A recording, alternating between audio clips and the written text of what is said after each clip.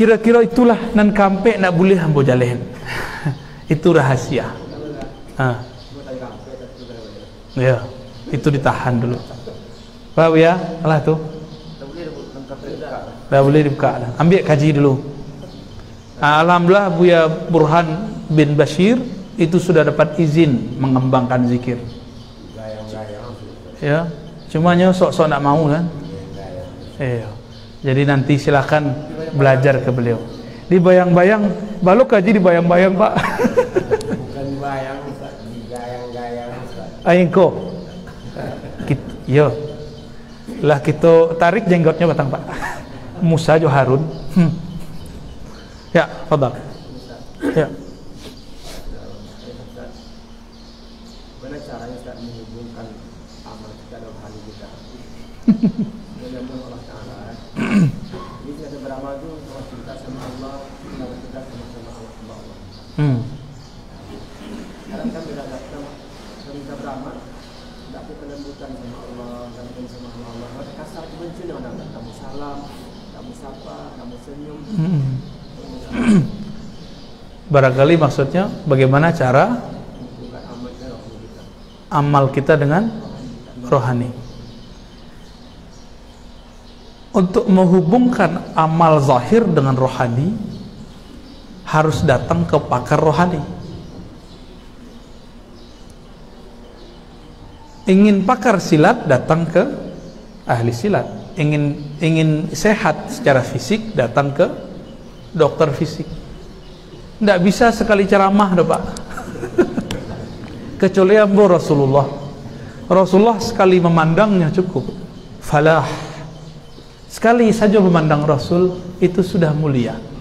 Makanya sahabat Rasulullah itu tidak boleh dihujat satupun. Apa sebab mereka dimulai dimuliakan Allah karena memandang Rasulullah sallallahu alaihi wasallam. Abu Jahal Abu Jahil itu memandang Muhammad bin Abdullah bukan memandang Rasulullah. Nah, kini kalau apa ibu memandang Burhan bin Basir ah dulunan mandi-mandi di kali. Mungkin dulu ikut pulau ma, ma mencilo uh, jambu nak rambutan. Tapi kalau Syekh Mudo Burhan bin Basir LCMA ah, itulah balain orang itu. Ya. Ah, ambillah kaji kayaknya. Ya. tak usah ditolak-tolak lebih ya? Ya eh, nanti yang lain disambung nanti semua. Ya. Kaji itu orang kalau tahu sanat silsilah ilmunya nya akan bersaudara.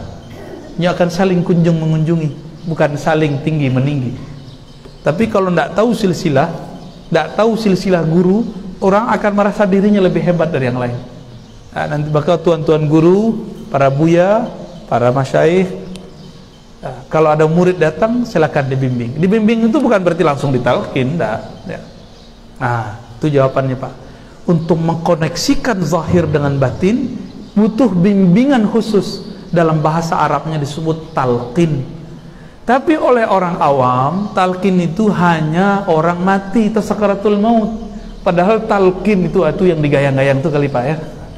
Talqin itu adalah bimbingan seorang ayah rohani atau guru rohani menyuapi makanan kepada murid rohaninya.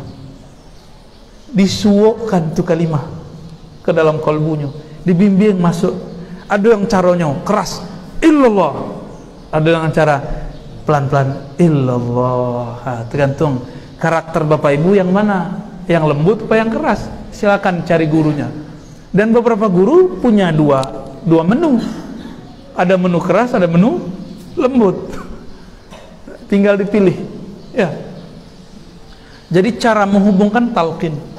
Makanya dalam sirril asrar yang dinisbatkan ke Imam Al-Qurani atau Al-Jilani jadi itu diperdebatkan nisbat kitab itu beliau mengatakan semak belukar yang ada dalam pikiran dan kalbumu itu bisa dipangkas ketika si guru membimbing jadi talqin itu seperti sabi yang bisa memangkas rumput sehingga jalan terbuka.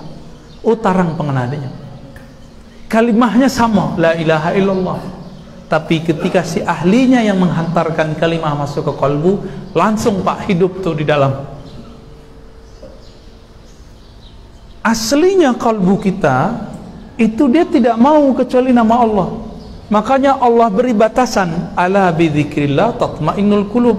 Hei ketahuilah itu arti Allah bizikrillah hanya dengan menyebut nama Allah siapa nama Allah? Ya Allah itu. Hanya dengan menyebut nama Allah kalbu menjadi damai dan tenang. Maka dikasih pun ilmu tentang bid'ah sunnah seribu kali kalbu gak akan tenang. Dikasih hafalan hafalan hafalan hafalan hafalan kalbu gak tenang. Hafalan masuk ke memori. Otak bagian belakang. Belum tembus ke kalbu. Makanya Nabi SAW mengatakan khawarij di akhir zaman teroris di akhir zaman mereka mungkin hafal Quran bahkan Nabi mengatakan mereka ahli Quran jadi kita harus antisipasi Pak, jangan sampai tafsir-tafsir Quran, hafalan-hafalan santri-santri Quran kita itu menjadi khawarij nanti. Hafal Quran tapi Qurannya tidak tembus ke kalbu. Jadi ketika Nabi mengatakan saya khuruj akan keluar di akhir zaman sekelompok orang yang pernah membantah-bantah Nabi dan mereka ahli Quran, ahli dalil, tapi iman mereka tidak pernah tembus ke kalbu. Jadi tolong Buya tolong para masyaikh Buya kan hafiz kok punya sanad Quran. Tolong dibina tahfiz-tahfiz Quran supaya tidak kemasukan terorisme. Ya? Tidak kemasukan khawarij. Terima kasih Pak kita khawatir. Jadi Nabi sudah kasih gambaran nanti khawarij itu hafal Quran. Maka kita wajib mengawal santri-santri hafal Quran. Jangan cuma hafalan-hafalan tilawah tilawah tilawah. Isi Qurannya yang penting Pak. Isi Qurannya. Jadi jangan usah bangga anak juara musabaqah itu nggak ada apa-apanya nggak dinilai di sisi Allah. Dinilai di sisi manusia dapat juara. Makanya kawan kalau biasa dapat juara lalu nggak dapat juara kesel. Tandanya dia nggak ikhlas. Dan itu sampai juara internasional begitu. Ya, kami ketemu beberapa aktivis-aktivis musabakoh. Ya mohon maaf pak aktivis musabakoh. Dia nggak juara pak. Nggak juara satu dia juara sekian gitu. Yang juara satu kawan beliau yang juara dua beliau. Tiga kawan-kawan beliau. Apa katanya? Ah si anu yang juara satu itu seharusnya bukan dia yang juara. Harus saya yang juara dan itu kami ketemu udah banyak para musabakoh musabakoh itu Berarti suaranya indah tapi tidak seindah di dalam kalbunya. Mereka hanya sibuk melatih. Maka buya-buya para ustadz wajib mengawal para ahli kari kariah. Dan kami mengimbau kepada kari kariah belajar zikirlah kepada ahlinya. Sehingga nanti membaca Quran itu niatnya mengamalkan sunnah Nabi. Seperti Abu Musa al-Ash'ari yang Nabi minta. Yang Nabi curi-curi mendengarkan. Jadi Nabi itu suka jalan-jalan di ganggang rumah ingin ingin mendengar siapa yang qiyamul lail. Ternyata yang qiyamul lail saat itu Abu Musa al-Asy'ari suaranya indah seperti suara Buya Burhan tadi ya. Nikmat senapaknya ditambah dua halaman pun tidak kakabur warna. Abu Musa al-Asy'ari besok pagi Nabi panggil suaramu seperti seruling Nabi Daud. U'tita ya, mazamira, mazamira eh, Daud. Engkau diberikan di dianugerahi suara seruling Daud. Seruling Daud itu jadi Nabi Daud kalau dulu baca Quran kalau Nabi Daud dulu mazamir mazamir seruling kan? Berarti Nabi, Nabi Daud dulu main musik pak. Batu ya dalil boleh main musik dengan syarat mazamir kan kalimatnya apa? Kecuali itu diartikan secara majazi. Burung terbang itu langsung turun pak. Mau dengerin suara Nabi? Daud. Angin sedang kencang berhenti. Malaikat lewat pun langsung tertegun. Binatang buas langsung jadi jinak Nabi Daud kalau sedang melanggukan, melantunkan kalam-kalam ilahi dalam kitab Zaburnya maka beliau bisa baca sesuatu itu berhari-hari tanpa makan, tanpa minum maka ada burung-burung yang tadinya keluar belum sempat sarapan belum makan siang dan sore ya burung itu mati sedang mendengarkan hari kesekian, hari ketiga, keempat, kelima. Jadi beliau itu bisa berhari-hari cuma dengan kalimah itu membaca-baca nama Allah. Nabi Daud. Kalau Nabi Daud yang berhenti siapa? Burung, angin, binatang buas, binatang ternak, binatang uh, jinak. Tapi kalau Abu Musa al-Ash'ari baca Quran yang berhenti siapa? Sayyidul awwalin wal akhirin penghulu alam semesta karena dialah alam ini dapat berkah Nabi Yuna Muhammad sallallahu alaihi wasallam maka Abu Musa al-Ash'ari pewaris ruhnya Nabi Daud Abu Musa al-Ash'ari itu bisa membuat seorang nabi berhenti itulah nabinya para nabi rasulnya para rasul pimpinan alam semesta Sayyidul awwalin Sayyidul alamin akhir kira Ah, semoga para kori-kori ah di negeri kita mendapatkan nur warisan Abu Musa al Ash'ari Nabi Daud alaihi salatu wassalam. Nah, tapi ya. Lah, buya lah tanya kamu. oh, Ustaz nanti sila dia tuh. ya.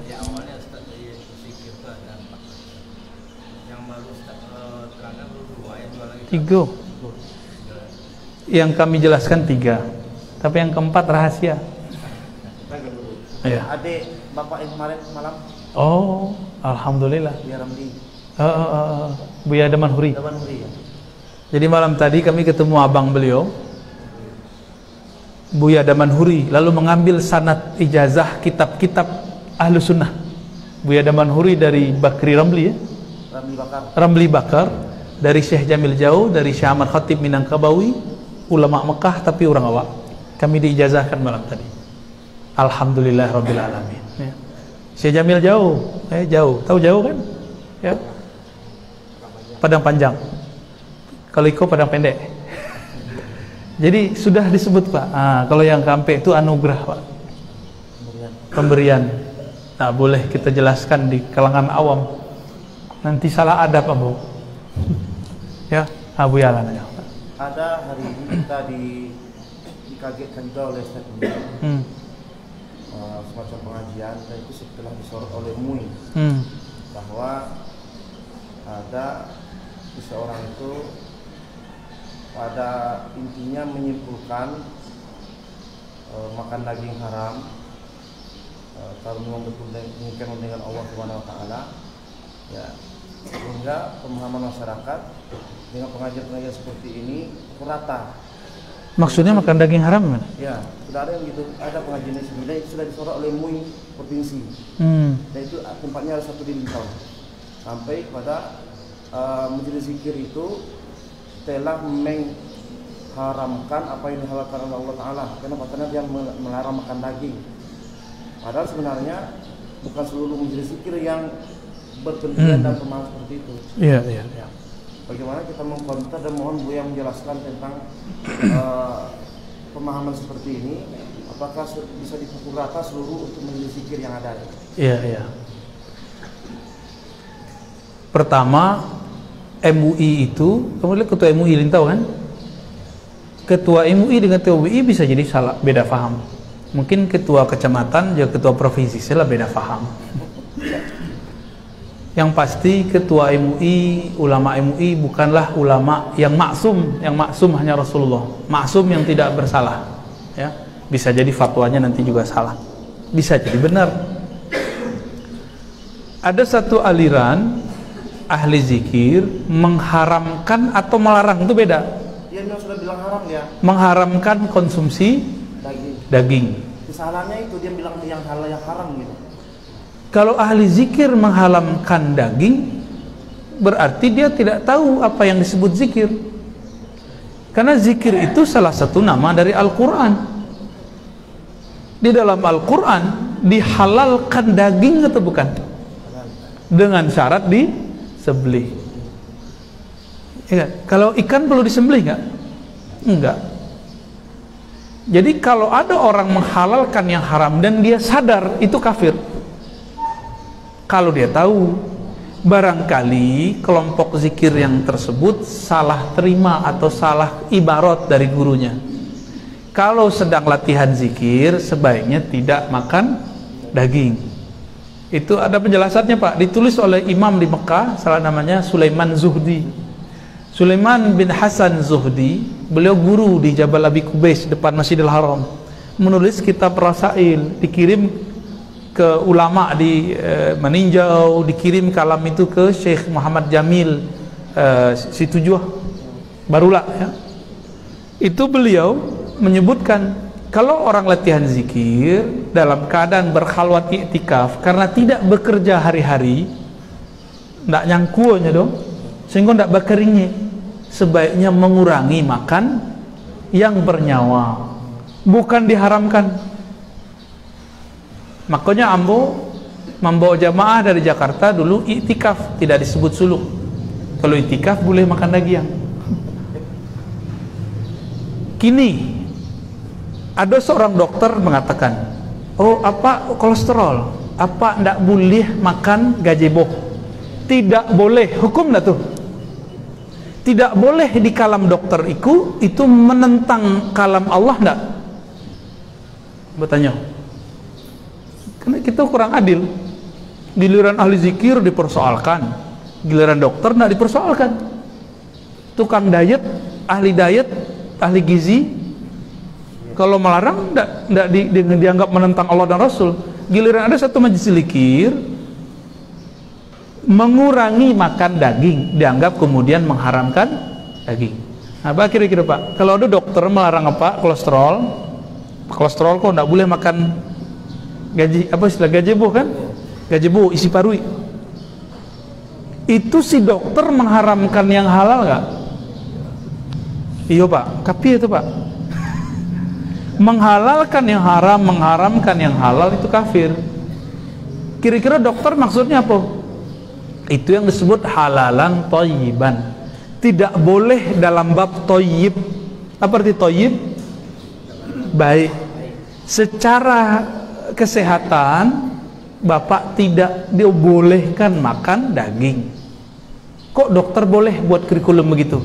Kenapa ahli zikir nggak boleh ngomong begitu kalau sedang latihan zikir kurangi makan. Cuma buya buya yang anti masalah begitu nyo salero nyo kadang nyo suka makan daging awak ndak bisa zikir studo nyo diharamkan nyo daging awas suka daging kalau masalahnya gadang salero uh, keceng selawa gadang salero nanti diizinkan sama guru tuh diizinkan sama guru. Kami kami suluk suluk dulu kami ikut suluk. Itu paling asik pak. Pengen makan daging diizinkan guru Taraga ada giang buya, ah makan giang. Taraga teh telur buya, buat teh telur. Tapi sudah makan daging, mulai zikir badan nangis. Ah yang nangis ko. Ah, butuh rukiah nak. Kok zikir rukiah nak perlu. Orang yang merukiah yang perlu dirukiah nanti. Akhirnya harus mandi kawan. Mandi. Mandi, bayangkan air di negeri awak jam 5 sore sudah dingin ya nak?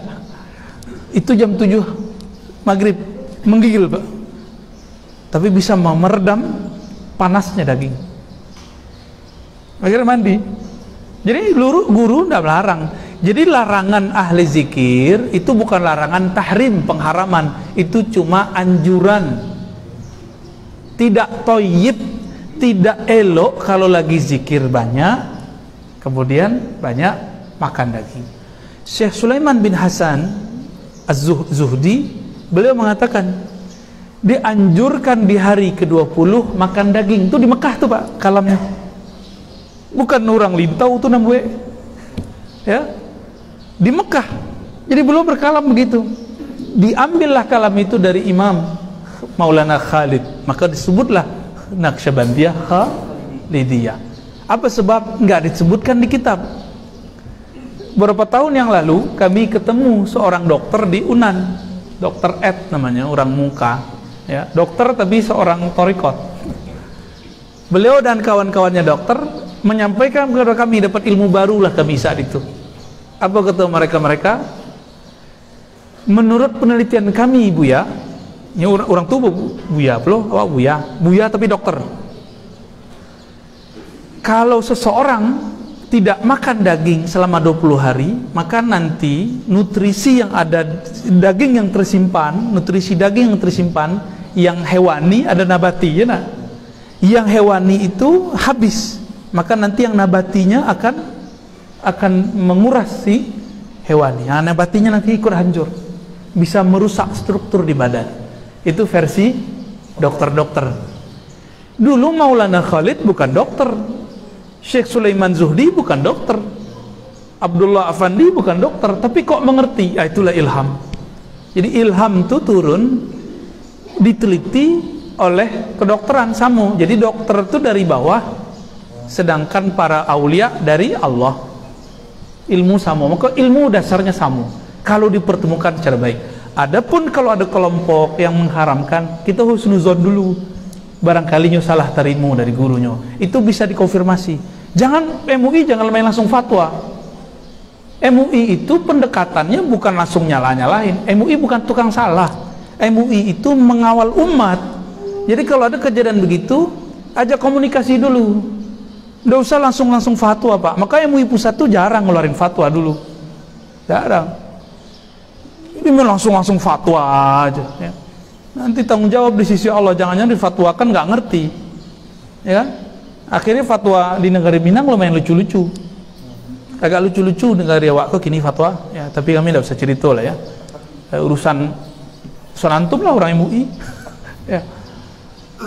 MUI itu seperti kritik kepada KPK mirip-mirip. KPK itu jangan bahagia kalau bisa OTT nangkep orang tangkap tangan. Tapi KPK itu harus bahagia kalau bisa mengurangi korupsi maka MUI itu harusnya bahagia bukan ngeluarin fatwa, tapi bisa bimbing umat. Nah, yang tadi itu dikunjungi diajak ngobrol. Setelah dikunjungi di, di, dihadat, dipanggil. Jangan main langsung panggil-panggil. Orang itu kan, eh, kamu siapa? Kamu MUI. Ya saya nggak ngakuin Anda sebagai MUI. Kan bisa begitu. Datangin Pak disapa. Kalau kita ini jadi orang tua umat, datangi anak-anak. Umat tuh datangi, jangan sombong, belusukan lah. Jangan cuma politik aja yang belusukan, ya silaturahmi pak silaturahmi. Nabi kan suka belusukan ya? Ya. Ya apanya buya pak? Mertua. Dari kajian judul apa?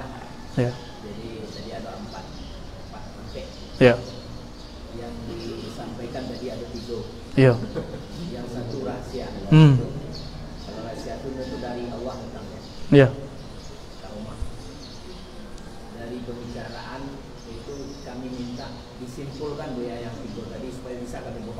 Ah, jadi. Alhamdulillah.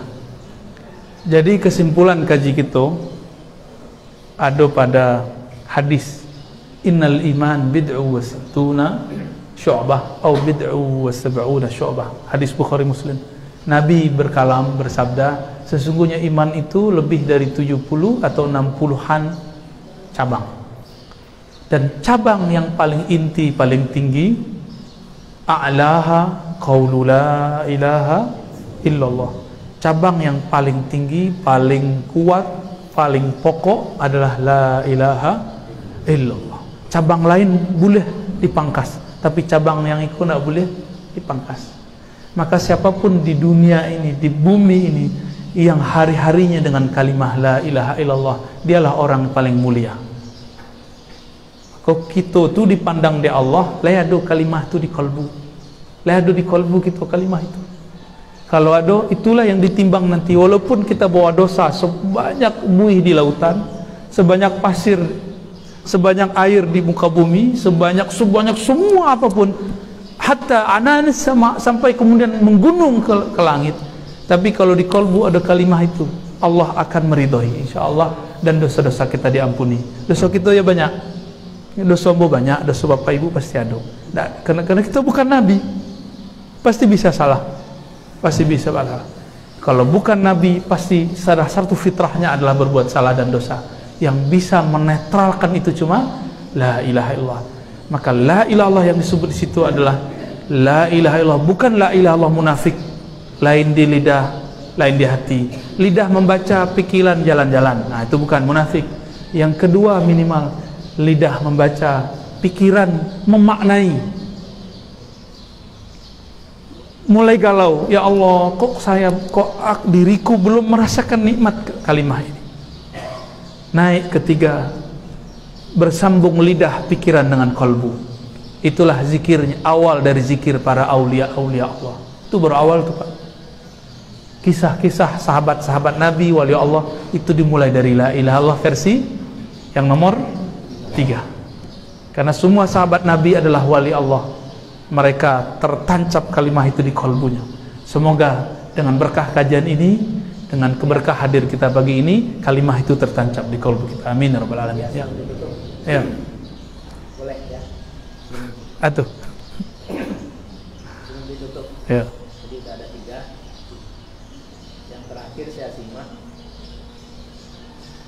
Dibaca dengan lidah. Karena mungkin ada ayat kita nggak bisa baca. Kemudian Hmm. dirsapi. Kemudian mungkin dipandang. hmm Dirasakan aja gimana dia. Di mana di Allah. boleh Kalau di- dibaca la ilaha illallah mungkin terlalu panjang. Gimana? kalau la ilah terlalu panjang terus yang lain kok nggak panjang pak Nggak, sempat baca gitu, dirasakan aja, dipandang aja. sibuk mana pak tuh sibuk mana pak? Politik bisa dikerjai kerja harian bisa dikerjai. Kok la ilah Allah sibuk? Sibuk mana pak tuh pak? Ya? Tapi mungkin maksudnya modaliko la ilaha illallah di lisan kadang-kadang tidak sempat baca la ilaha Allah tapi di hati makna itu tumbuh itu barangkali ya. Itu yang disebut hadis Bukhari tadi min qalbihi dimulai di kolbunya saja yang bermain. Hakikatnya yang berzikir kan kolbu pak. Lidah itu terjemahan kolbu bukan bukan kolbu ikut lisan. Atalkin itu memindahkan lisan itu dari lisan zahir masuk ke zikir kolbu. Kalau itu boleh dipakai pak. Perancak. Ya. tapi kalau ada musuh jo seorang nenek-nenek awak ke keluar akhir nenek itu Ustaz tolong ajarkan a- a- saya zikir saya sibuk. Ibu zikirnya eh, eh, umurnya berapaan bu? 72 72 ibu karyawati. Pramugari. Enggak. Terus ibu nggak sibuk ngapain? Eh, iya sibuk apa nih jadi bingung ya si ibu. Tapi aktif emang aktif suka gerak. Nah kita kasih ke la ilaha illallah itu pak Ih, jadi ibu nggak sibuk. Ibu sok sibuk. Sambil sambil canda. Karena ibunya nggak baperan nggak suka eh, nggak gampang tersinggung jadi kami candai. Karena ibu ini sok sibuk saya kasih yang lebih menyibukkan bu. La ilaha illallah. 100 pagi 100 sore ya. Banyak banget Ustaz. 100 kok banyak? 100 la ilaha illallah. Cuma satu dua detik kok pak atau tiga detik paling kalau 100 berarti 300 detik bagi 60 5 menit. 5 menit lah mau iklan saya 5 menit pak. Ya. Maka mohon maaf kita tuh sok sibuk. Maka Allah nanti jual mahal. Eh kalian sok sibuk. Penutup dari ambo bertanyalah seseorang kepada Rasulullah. Ya, ada satu riwayatnya tapi kemudian yang sahih kok dari ulama. Tapi riwayatnya ada wahai Rasulullah bagaimanakah aku di sisi Allah? Maka dijawab Allah engkau di sisi Allah adalah seberapa mulia Allah dalam dirimu. Seberapa sering engkau menyebut nama Allah sesering itulah Allah menyebut nama engkau. Jadi bila Allah menyebut nama awak di arasnya, di langitnya kalau nama kita sebut di aras wali besar disebut di langit wali biasa Nabi Muhammad tembus sampai ke aras karena beliau Sayyidul Awalin wal Akhirin penghulu alam semesta. Tembus pak sampai puncak aras. Beliau sholat di situ. Namanya disebut-sebut di situ. Jadi kesempurnaan aras ketika Nabi sholat di situ. Itulah ar-Rahman alal arsis tawa. Terwujud. Sebab Rahman Allah itu ada di kolbu Nabi. Sifat rahmaniyah Allah itu terpancar di kolbu Nabi. Maka Nabi tidak pernah benci orang Nabi nggak pernah benci orang kecuali Allah suruh benci. Tapi bencinya Nabi sayang. Nabi benci itu sayang pak. Berangnya Nabi itu sayang. Kalau kita elok sih berang. Maka kajian-kajian kita banyak berang sih kan? Menggebrak-gebrak meja. Hantam sini, hantam situ, kritik sini, kritik situ, lupa dengan diri sendiri. Silakan Pak kasih nasihat ke orang, marah-marah suara tinggi, tapi jangan lupa diri sendiri.